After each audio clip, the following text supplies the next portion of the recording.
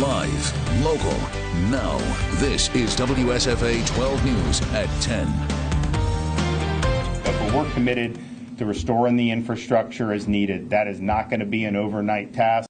Florida's governor reassuring residents tonight help is on the way. Hurricane Ian, one of the strongest in decades, has destroyed property statewide.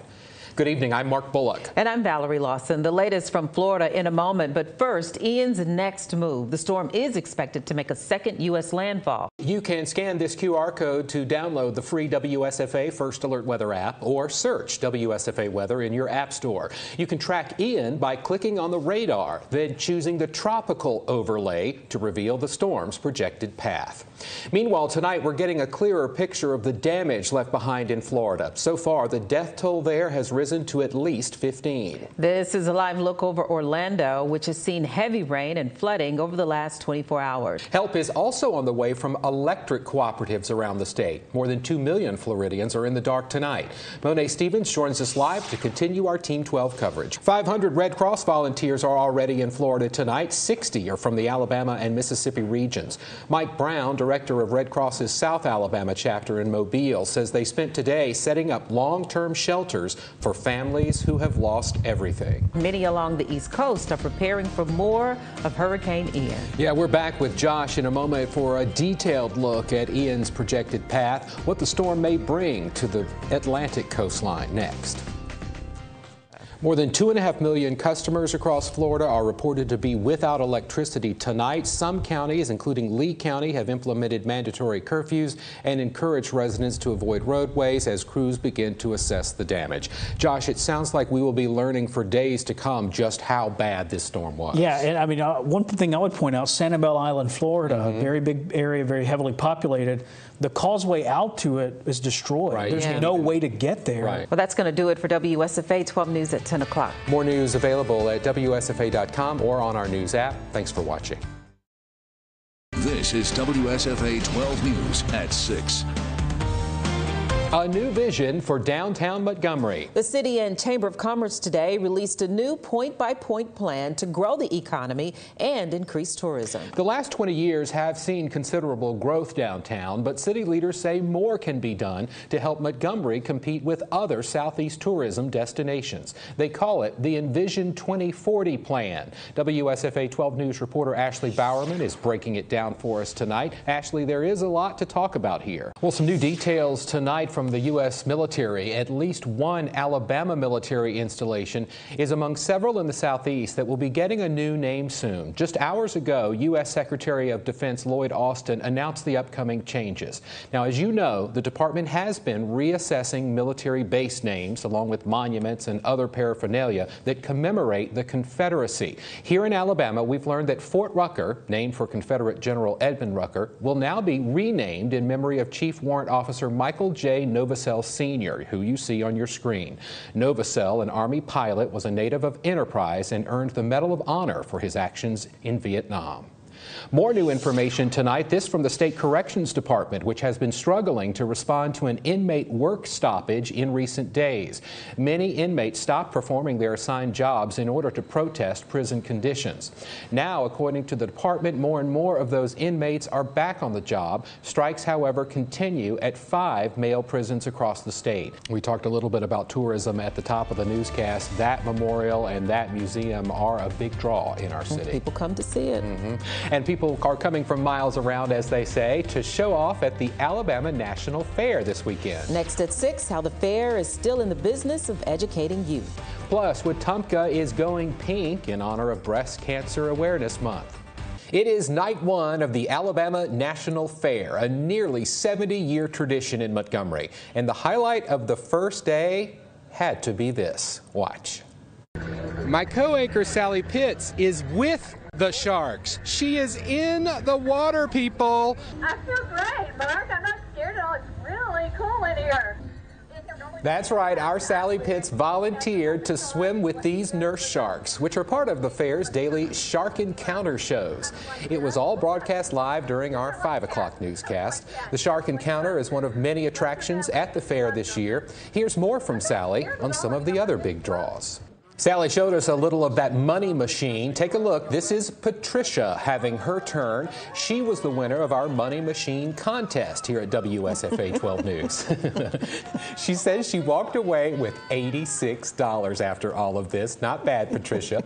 if you're headed to the fair, you can register for a chance inside the money machine at Garrett Coliseum. Every time I talk about ASU and I look at Val, I'm like, I shouldn't be talking about it. Yeah, that's going to be a good game. And I want to see that ASU stadium sold out because that's a Mm-hmm. big stadium. over Huge, there. and you, you can see it driving by on the, the road right there. It's going to be uh-huh. awesome. Yeah. Fever athlete of the week. Those guys. Jamal's like a little more, please. I know. Sometimes they get shy, then they get used to the camera. I love watching the presentation though every week. Yeah, it's fun. Thanks, Rosie.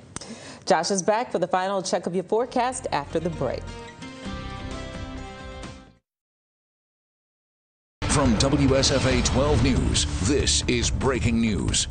You are watching continuing special coverage of today's visit by President Joe Biden to Alabama. He landed at Maxwell Air Force Base just after noon and is now in Troy, where he is at Lockheed Martin. The president is getting a tour right now of the Lockheed Martin facility, which has, by the way, produced more than 50,000 of those Javelin missiles since it opened back in the mid 1990s.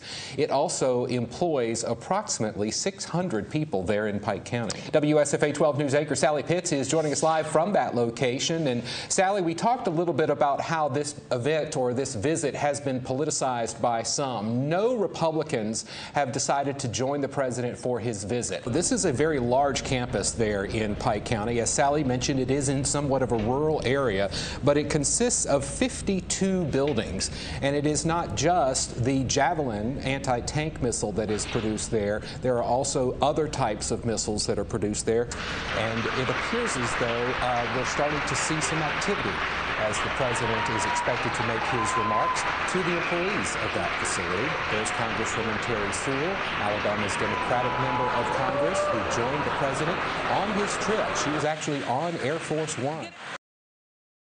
Welcome back to the Alabama National Fair, the 69th edition. This fair has been happening in Montgomery since the mid 1950s.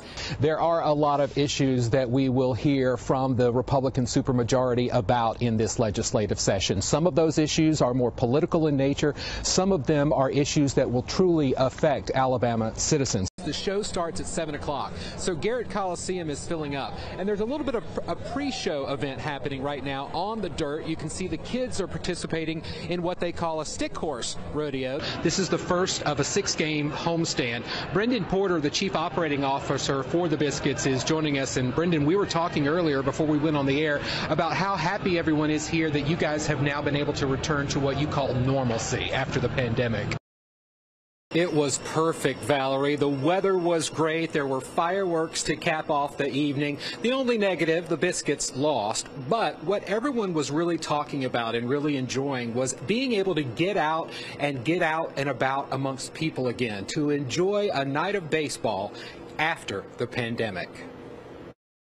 We're all vaccinated and boosted and whatever. Biscuits fans say they're glad to be back at the ballpark. It feels good to be back with people and to be watching them again, honestly. It's really nice to have a sense of, I guess, togetherness again. WSFA sports anchors Rosie Langello and Jamal Kennedy were there to throw out the first pitch.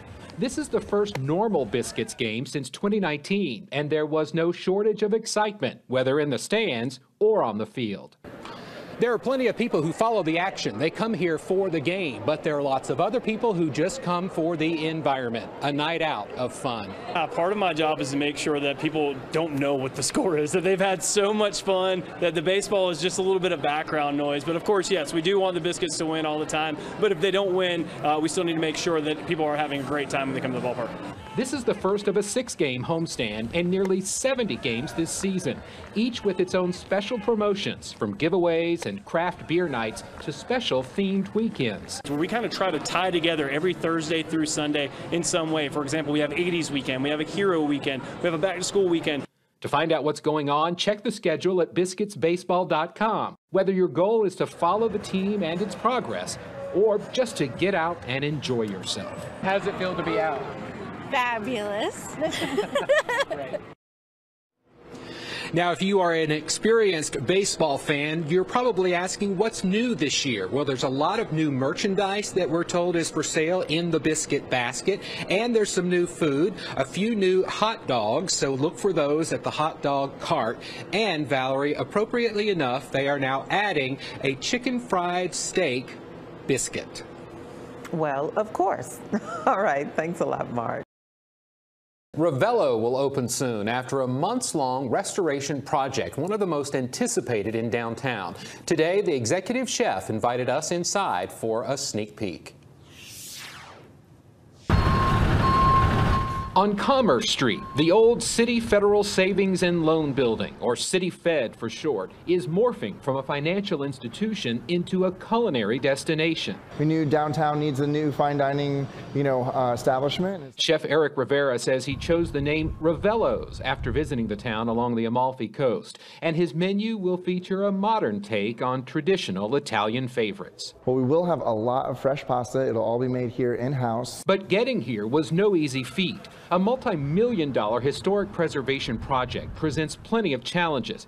And when you add in pandemic-related shortages of labor and supplies, this project by Vintage Hospitality Group has been delayed by more than six months. You know, you could not have a nail that you specifically need, or the mortar, or cement, or uh, wood, for example, and you just kind of have to wait and get what you can when you can. This is the group's third restaurant in Montgomery. They also own Vintage Cafe and Vintage Year in Old Cloverdale, and soon they'll open a fourth venue just down the street along Alabama's riverfront.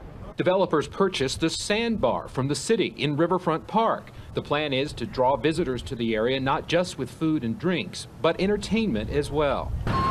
The hope is to open in about a month, the same time frame as Ravello's, which also features an adjacent ballroom and meeting space to further complement ongoing downtown development. Those same developers are also leading a project to renovate the old Grove Court apartment building in downtown, which has been abandoned for decades. That project, however, is still in the very early stages. Health inspectors say they found roaches and flies inside a local convenience store kitchen this week, leading to a health score of 78. The 12 News defenders have the details of this week's inspections. Starting, though, with the highest grades, here's a little food for thought. It's the town of Pike Road's very first Waffle House, a southern breakfast staple. And there's more good news. The restaurant got a high 99 on its first inspection. A 99 also went to Arby's on the Eastern Boulevard, and with 98s this week, Wendy's on Ann Street, Sally T's Cafe and Cupcakes on Atlanta Highway, Josie's Homestyle Cooking and Catering, and Tower Tap Room on Tallapoosa Street in Montgomery's downtown alleyway entertainment district.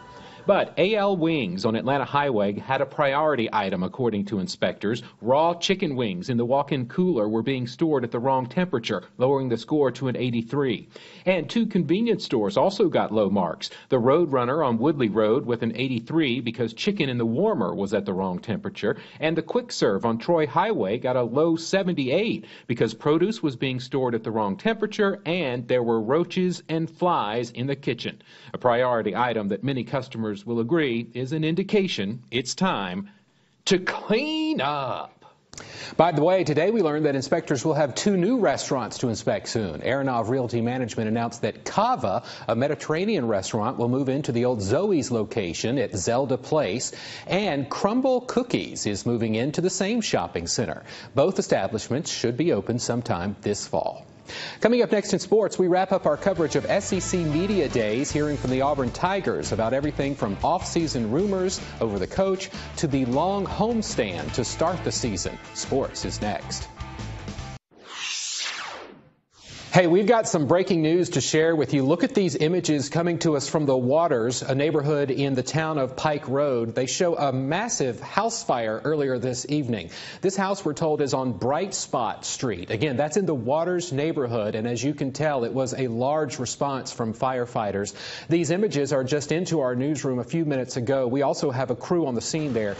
We did call Pike Road Fire and reached out to the Montgomery County Sheriff's Office to see if we could find out any more information information about this fire. Those crews obviously very busy. So far, we have not gotten a response. We do hope to have more information for you tomorrow morning on Today in Alabama. And our own Josh Johnson is here to talk about the weather we've been seeing uh, marching through. I'm wondering about the lightning and whether that could have been a, a, a cause of that fire we saw in the waters. Certainly can't rule it out. And mm -hmm. we've seen, we've heard of a couple of other reports that we're kind of working on right now of fires in and around the river region. So mm -hmm. that mm-hmm. makes a lot of sense. We'll see. We'll let the fire departments do their job. Storm chances linger tomorrow. More on WSFA.com. Thanks for watching tonight.